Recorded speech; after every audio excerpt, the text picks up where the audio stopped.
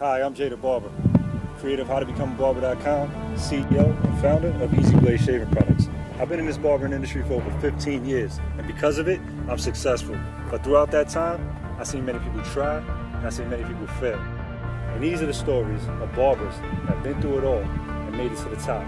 Welcome to my crazy barber life.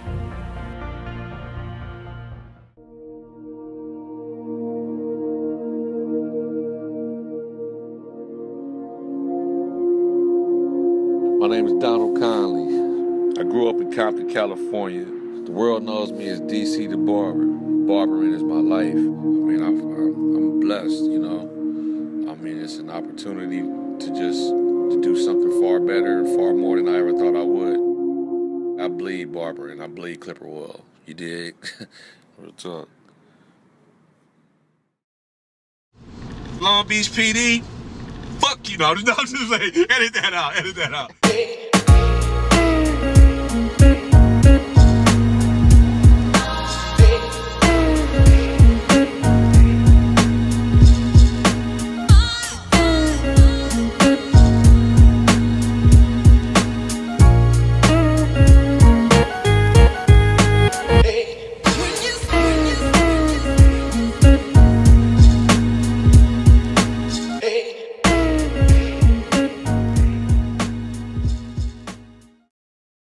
I'm on the 405, finna cross over to 110 now.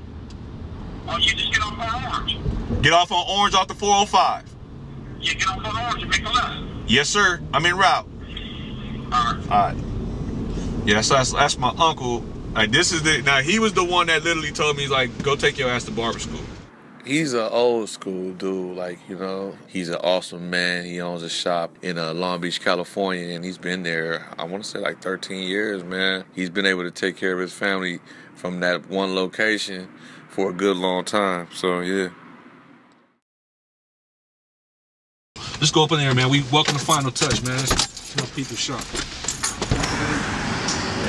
Why did you tell me to go to barber school? Why did I tell you to go to barber? Yeah. So you was messing up? Yeah, that, look, that was really like I, I was trying to see if he was gonna say it without saying it, but he not just yeah. You was messing up with your family. I love you. I didn't want to see you going down the same road I went down. So, and then your mom, she spoke to me about it. You know, which is, you know, See, I didn't know which is- that. Which is my big cousin. She's like, you know, you need to talk to him, man, 'cause he's he tripping. I'll never forget what you told me today. Oh, so now I ain't smart, huh? I said, no, you ain't smart. I said, the way you acting now, no, you're not Did I say that? And I said, no, you're not being smart. He was like, so what you what you think I should do? I said, maybe you should go down to John West and get in that barber school and get your, you remember now? Yeah, yeah, yeah. Get your, yeah. get, you know, get Yeah. that barber, that barber school. We was at the apartment. Yes, sir. Yeah, yeah. That's yeah. what you do. And, then, you know what? What I respect about you is that you did it. You know, it was a good day, man. It was a good day. So he's the first person I told. It's the beauty. He's the first, first person told me to do it. Yeah, man. It's funny because like like it's funny like he said my mama told him to told him to talk to me right, but you know your big cousin when I was going to barber school was like, why are you going to barber school? He don't give me no job. He don't give me no job. I don't think he want me to work with him. I don't think he want to do it. I don't he say, he say, Family know what I say earlier. Family know. We don't even know. No. Blessings, blessings to you. I love you back. So I went to two barber schools. So the first barber school I went to was John Wesley. When I was again, I was a knucklehead. One Saturday I went to school and and I had this one I had hair, you know, like I had the Method Man shit going on. One side was braided and one side was wild. And they had a, a strict grooming policy. You couldn't come to school, you know, if your hair wasn't groomed. I'm I'm literally, bro, like I want to say I was at 900, maybe a thousand hours. Here is 1500 hours. So I'm one of the senior dudes. I got the first chair in the spot. I'm thinking I'm Barzilla, you know what I mean? I'm that dude, you know, everybody come see me for my little $3 haircuts. So I go to school anyway, but I had a do-rag on my head. They was like, yo, you gotta take the do-rag off. I was like, man, my hair is fucked up. They was like, you gotta take the do-rag off. And it went back and forth. I was like, so then they made me go to the front office. The lady that ran the school at the time, she was a, um, she wasn't very, how should you say? She wasn't used to dealing with black folks. That's all I'm saying, you know what I mean? So my saying, yo, man, fuck, you know, my hair is fucked up. She had the police on speed dial. She hit them up with and before I know it, I had like seven Long Beach PD out there just like on me, you know. So uh, they escorted me out. Took my, uh, uh, I wasn't allowed to get my shit, you know. I think I was out of school maybe a week. And I'm telling you, bro, like I was the dude that literally I would call. This is how serious I was about just. I, I think I would literally call school from jail. You know what I'm saying? And be like, yo, I won't be there for a couple weeks. You know saying? I won't be there for a couple months. So it took my 1,500 hours. I want to say it took me almost a year. It took me almost a year, just from different, just different, different reasons or whatnot. But I never, I was never on the streets and didn't go to school. You see what I'm saying? Um, so.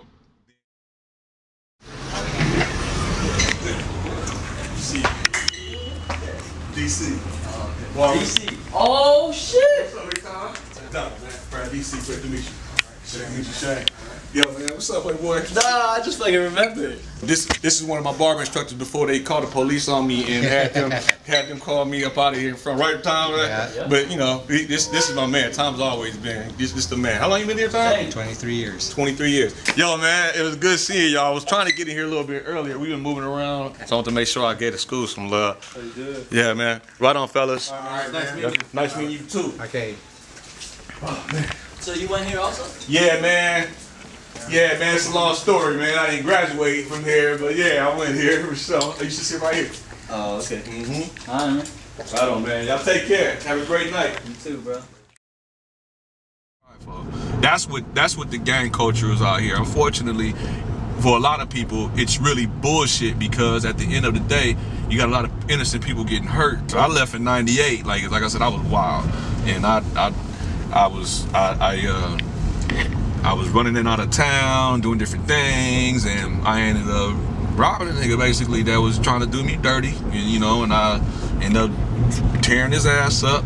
I was the type of dude, man, I was going back and forth to jail, you know, I didn't care. I wasn't the type of dude that's like, I, I got a hard head, you know, so when I had to leave my neighborhood because it was too hot, when my mom's was like, yo, you gotta get the hell out of here. 'Cause my mom was with the shit too.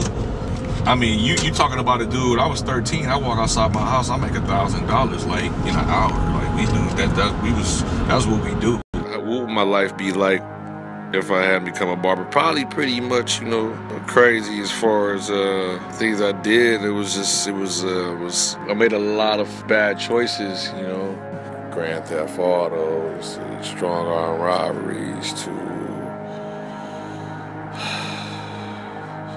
just different things that could still possibly, you know, cause situations for myself. I'm I'm very fortunate because I done been in multiple shootouts. That lady I was telling you about earlier today, um, that just died. She uh something happened, niggas came shooting at me. You know what I'm saying? And I'm, you know, preparing for combat, I would just say. And as I'm preparing for combat, I get behind her car, they light her car up. Better that car than me, right? So the uh I remember the next day she came and she just was like, she was like, Donald, she was like, you gotta, you gotta get your life together, baby. She was like, she was like, I know they was coming here for you. I was just like, I was remember just like, she's like, I know, I know, I know that was about you. They, they, they could they could have hit your mama. They could have hit me. And I just remember like, yeah, you're right. You know? So.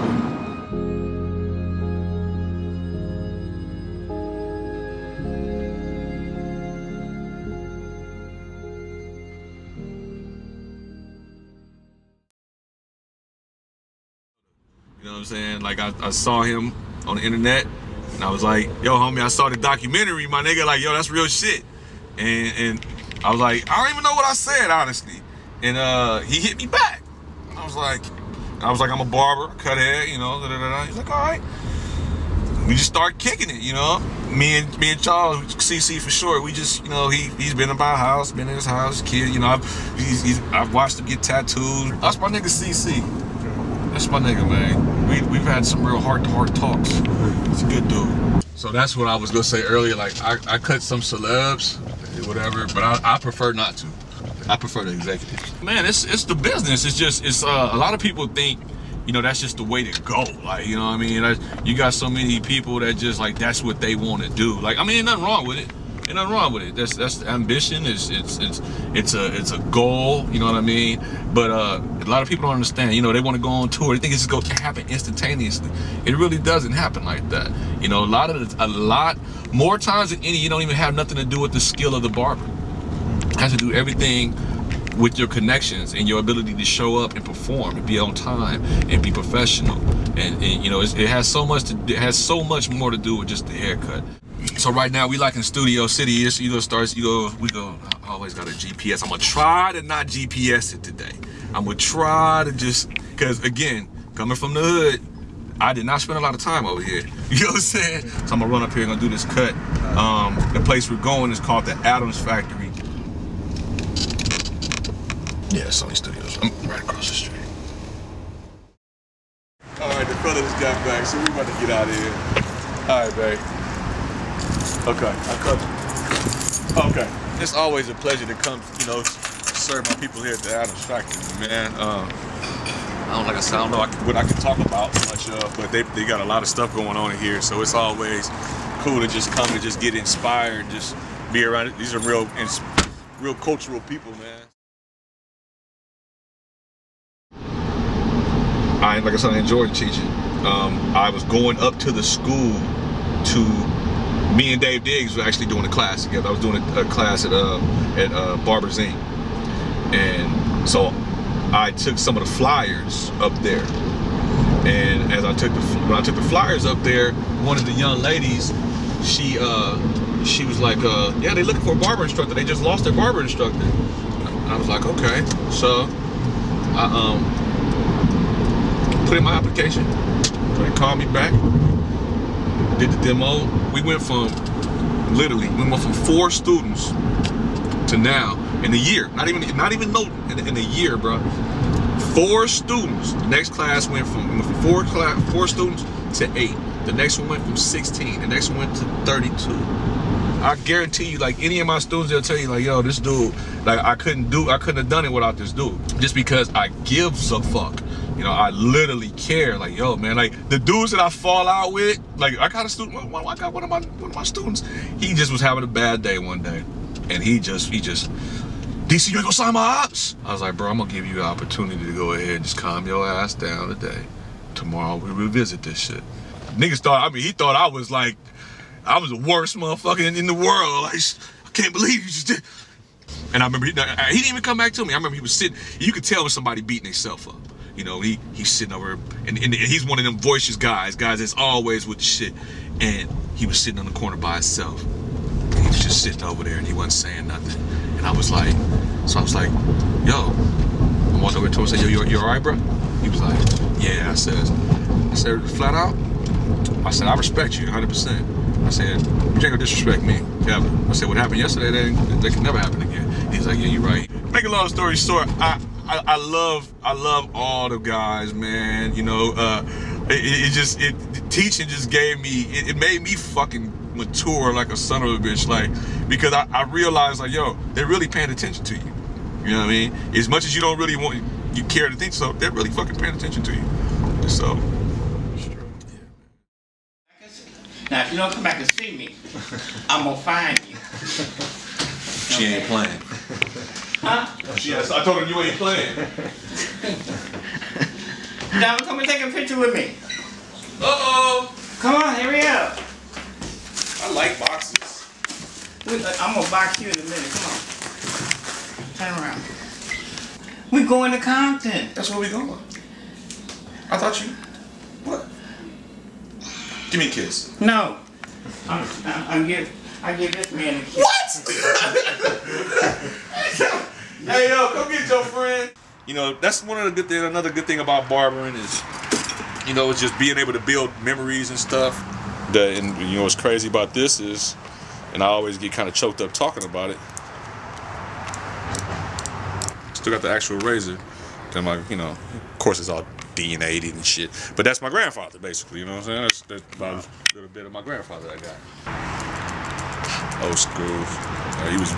You had to be an old school barber. Had that strong grip. He'd break your wrist off. So yeah, man, I'm a student about it. Still a student. I'm still very much passionate about it. I'm an enthusiast. I'm a. I don't know, collector. Uh, I don't know, man. Just it's just so much about it that I just I enjoy that I don't think that it'll never ever it, it'll, it, never not be a part of my everyday life. You know. So uh, yeah, I, I want to thank you guys for coming out. You know what I'm saying, Jay?